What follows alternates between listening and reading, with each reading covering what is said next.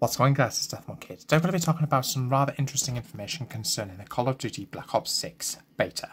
So as you guys can see, courtesy of Detonated, which is owned by TK Dynamite, uh, we've actually found out that uh, there was a recent uh, leak that was um, showcased online, apparently of a basically UK gamer who managed to basically pre-order Black Ops 6 and there's some rather interesting information coming from one of the receipts that he received. So, for those who don't know, the Black Ops 6 multiplayer beta begins later this summer following the Call of Duty Next reveal event.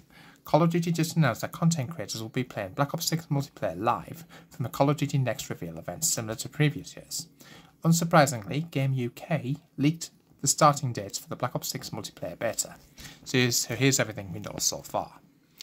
During the Black Ops 6 Direct event, Activision confirmed that Call of Duty Next will be indeed be happening for a third time later this year. Players will likely get to see a full reveal of Black Ops 6 multiplayer, zombies, and possibly Warzone during the livestream. In recent years, of Modern Warfare 2 and 3, the beta for multiplayer began around 24 hours after the conclusion of the Call of Duty Next event. This year, things may be slightly different for Black Ops 6 multiplayer. An image from the store Game UK surfaced which confirms the following dates for the Black Ops 6 beta.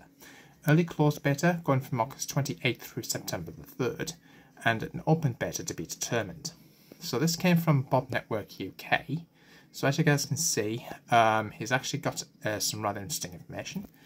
And as you guys can see, circled in red reads the 20 closed pre-order beta is 28th of August, most likely after that says 3rd of September.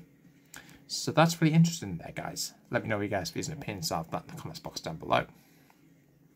The early closed beta is for users who have pre-ordered an edition of Black Ops 6, like me, so I've done the Vault edition for those who don't know, or for those who are subscribed to Xbox Game Pass, considering how long the early closed beta is. It's unclear if some of those days are also for the open period, or if there will be a second weekend for those who did not pre-order. As confirmed by Phil Spencer, the Black Ops 6 beta will be available for all platforms at the same time, marking the first time there isn't console exclusivity to a particular period of the beta itself. It's fair to assume the beta will go live in just a few hours or less after the Call of Duty Next event comes to a close. Now, for those who don't know, um, basically, Microsoft earlier this year basically managed to purchase Activision. So basically, even though they purchased Activision doesn't mean to say that there will be an Xbox ex- exclusivity per se. Um, basically, there's going to be no exclusivity as far as beta is concerned. So that's kind of interesting. Let me know what you guys' views and opinions are of that. The beta download, just saw, just as we saw for titles like MW2 and 3, players should be able to begin preloading the multiplayer beta the same week as the Call of Duty Next reveal event. The download should appear for all platforms around the same time during the week of August 28th. Uh, for those who don't know, the download likely won't be more than 25 gigabytes, as that was a ballpark file size for recent Call of Duty beta packs.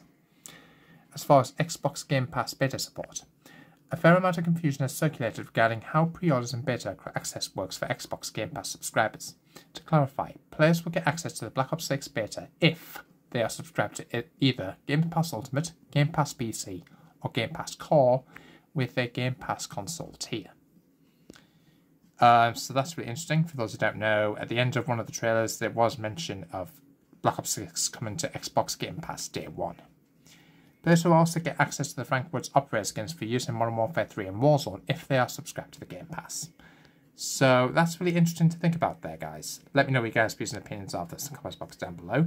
So we don't have these not set dates at this present moment in time. However, the, going from the information that we got from Game UK, I think we can more or less safely assume that this happens to be the dates that we're going to expect to play uh, Black Ops 6 early. So let me know what you guys' views and thoughts are. Make sure you guys like, comment, subscribe, hit the notification button so upload, and I'll see you in the next one.